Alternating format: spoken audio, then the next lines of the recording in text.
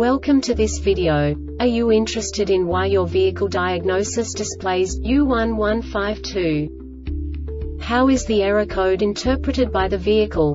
What does U1152 mean, or how to correct this fault? Today we will find answers to these questions together. Let's do this. First, let's look at the history of diagnostic fault code composition according to the OBD2 protocol, which is unified for all automakers since 2000. We divide the electric system of automobile into the four basic units. Powertrain, body, chassis, network.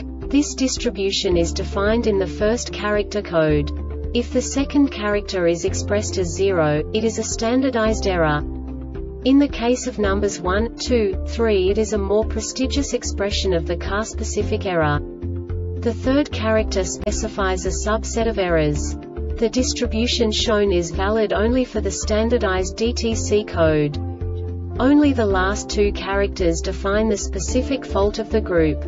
Let's not forget that such a division is valid only if the other character code is expressed by the number 0.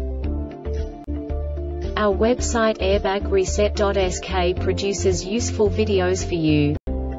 You do not have to go through the OBD2 protocol anymore to know how to troubleshoot any car breakdown. You will find all the diagnostic codes that can be diagnosed in a GMC vehicles. Also many other useful things. The following demonstration will help you look into the world of software for car control units.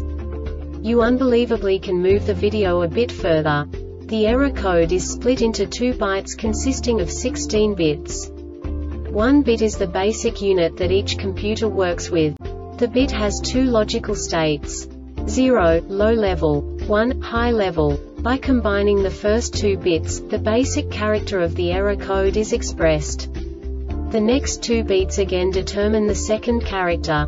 The last beat styles of the first byte define the third character of the code. The second byte is composed of a combination of 8 bits. The first 4 bits determine the fourth character of the code. And the combination of the last 4 bits defines the fifth character. A single byte conceals 256 possible combinations. We now know in what way the diagnostic tool translates the received information into a more comprehensible format. The number itself does not make sense to us if we cannot assign information about it to what it actually expresses. So, what does the diagnostic trouble code U1152 interpret specifically GMC car manufacturers? The basic definition is front increasing pressure solenoid LH malfunction. And now this is a short description of this DTC code. Open circuit in SLAFL continues for 005 seconds or more when SLAFL is off. This diagnostic error occurs most often in these cases. Wire harness brake actuator assembly skid control ECU. The Airbag Reset website aims to provide information in 52 languages. Thank you